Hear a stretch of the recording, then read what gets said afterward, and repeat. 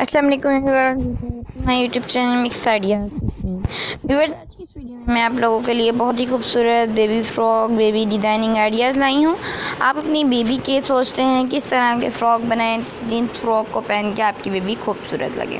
तो व्यूअर्स आप इस तरह के फ़्रॉक बना सकती हैं अपनी बेबी के लिए। आपकी बेबी बहुत ही खूबसूरत लगेगी इन फ्रॉक्स को पहन के। ख़ास तौर पर तब जब आप अपने हाथ से खुद स्टिच करेंगी तो आपको भी खुशी होगी कि हमारे हाथ से स्टिच किए हुए फ़्रॉक हमारी बेबी ने पहने हैं और वो कितने खूबसूरत लग रहे हैं। आप इन्हें साइज़ में बड़ा भी कर सकती हैं, क्योंकि बहुत से व्यूवर्स कहते हैं, आप सिर्फ़ बेबी के दिखाती रहती हैं, थोड़े से यंग गर्ल के दिखाएँ, या फुल यंग गर्ल के दिखाएँ इलेवन ईयर बेबी के दिखाएँ।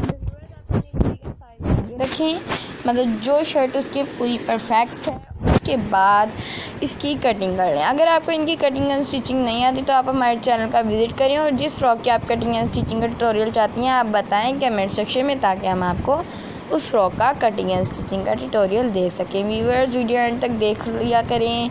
वीडियो एंड तक देखने के बाद एक दुआ भरा कमेंट ज़रूर कर दिया करें। इस वीडियो को अपने फ्रेंड के साथ शेयर कर दिया करें।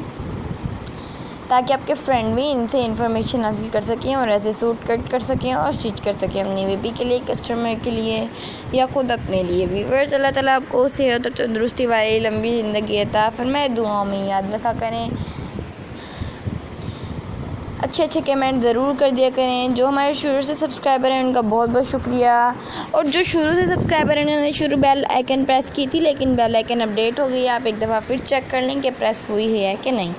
बेल आइकन प्रेस होने की निशानी ये है कि उसके साइड पर टू निशान आ जाते हैं। वो भी तिरछे। व्यूवर्स आप देख लिया करें, जैसे कि बैल जो घंटी होती है, वो बच जाती है, तब आपको पता चल जाया करेगा।